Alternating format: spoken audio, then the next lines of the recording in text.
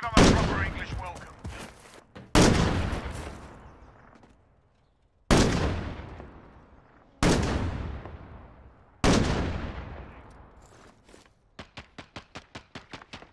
Taking fire!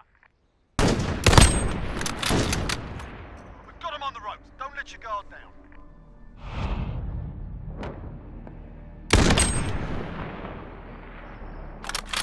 Let's get this done.